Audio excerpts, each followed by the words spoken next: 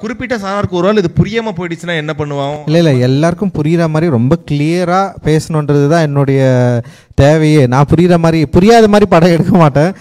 புரிகிற மாதிரி ரொம்ப ஏன்னா புரியுறதுனால தான் வந்து ரியாக்டே பண்ணுறாங்க இல்லைன்னா ரியாக்ட் பண்ண மாட்டாங்களே. இவ்வளோ காலத்தில் நம்ம இவ்வளோ படம் எடுக்கிறப்போ வந்து இவ்வளோ எதிர்மறை விமர்சனங்கள் வருதுன்னா ஆக்சுவலி வந்து மெட்ராஸ் வரப்போ தான் குறியீடுகளை பற்றி பேச ஆரம்பித்தாங்க இன்றைக்கி வந்து என்னுடைய போஸ்டர் எது வந்தாலும் அதுக்கு பின்னாடி சம்மந்தமே இல்லாத குறியீடுகள் எழுதுகிற அளவுக்கு வந்து இன்றைக்கி தேடுற அளவுக்கு வந்து வந்துட்டாங்க ஆக்சுவலி அதனால் வந்து டெஃபினட்டாக நம்ம அமைதியாக நிற்க வச்சா கூட அவங்க ஏதோ ஒரு டைலாக் எழுதுவாங்க ஓ இவன் இதனால தான் அமைதியாக இங்கே இருக்கிறான் அப்படின்னு சொல்லிட்டு.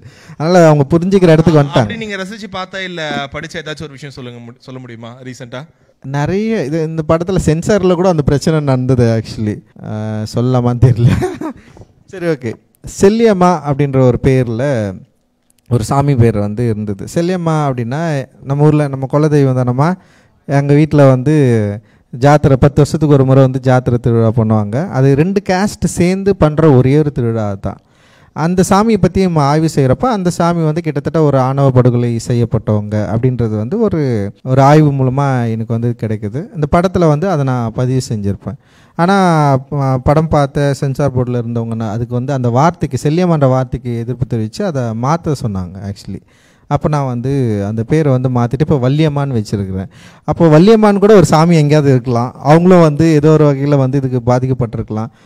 லைக் வந்து பேர் வந்து மாறுறதுல பிரச்சனையே கிடையாது. ஆனால் சம்பவங்களில் சொல்கிறது அப்படின்றது ஆனால் அது சொன்ன அதை அவங்க கனெக்ட் பண்ணிக்கிறது இதை சொல்லக்கூடாது இந்த உண்மையை வெளியே சொல்லக்கூடாதுன்னு நினைக்கிறது இந்த மாதிரி நிறைய சிக்கல்களை வந்து நம்ம பார்த்துட்டு தான் இருக்கிறோம்.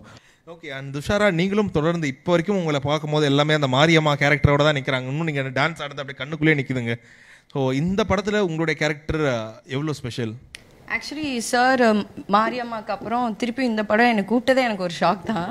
ஏன்னா I didn't expect number one அப்புறம் I think he he knows his art தான். ஒரு சென்சிட்டிவான கண்டென்ட்டை எப்படி எல்லாத்துக்கும் புரிகிற மாதிரி சொல்ல முடியும் அப்படின்றது I think he is a master and கண்டிப்பாக விமன் கேரக்டர்ஸ்னால் ரொம்ப இம்பார்ட்டன்ஸ் இருக்கும் சாரோட படத்தில். அது ரெண்டு நிமிஷம் வந்தாலும் ஒரு கருத்து சொல்லும். அப்படின்றபோது கண்டிப்பாக அங்கே நான் கதை கேட்டு தான் போய் நடிக்கணும் அப்படின்லாம் எனக்கு அவசியம் இல்லைன்னு நினைக்கிறேன். So I'm I'm more than happy ஏன்னா என் லைஃப் மாரியம்மாக்கு முன் அப்புறம் அப்படி தான் இருக்குது ஸோ கண்டிப்பாக ரெனேவும் இந்த மாதிரி என் லைஃப்பில் ஒரு நெக்ஸ்ட் ஸ்டெப்பாக தான் இருக்கும். அண்ட் uh, கலையர் சார் நீங்கள் நிறைய படம் சார் கூட ஒர்க் பண்ணியிருக்கீங்க ஸோ உங்களுக்கு எவ்வளோ மாற்றமாக இருந்துச்சு? இந்த படத்தோட கதையை ரஞ்சித் சார் சொல்லும் போது இது வரைக்கும் நடித்த படங்கள் இந்த படங்கள் எந்த அளவுக்கு முற்றிலும் மாறுபட்டதா இருந்துச்சு? ரஞ்சித் சார்கிட்ட கதைலாம் கேட்பீங்களா நீங்கள் ரஞ்சித் சாரோட நடிக்கிறமோ இல்லையோ ஷூட்டிங் ஸ்பாட்டில் இருக்கிறதே ஜாலியாக இருக்கும். அது பயங்கர ஒரு என்ன பாசிட்டிவாக இருக்கும். இல்லை எனக்கு இந்த கேரக்டர் கொஞ்சம் கண்டிப்பாக டெஃபினட்டாக வித்தியாசமாக இருக்கும். ஏன்னா மெட்ராஸ்க்கு அப்புறம் வந்து அதை பிரேக் பண்ணுற மாதிரி ஒரு கேரக்டர் என்னால் பண்ணவும் முடியல அமையவும் இல்லை. அது ஒரு பெரிய மெட்ராஸ் வந்து பயங்கர எனக்கு சூப்பர் பயங்கர பாசிட்டிவாக வந்தோம் அதே மாதிரி அது பெரிய ஒரு பிரச்சனையாகவும் இருந்தது.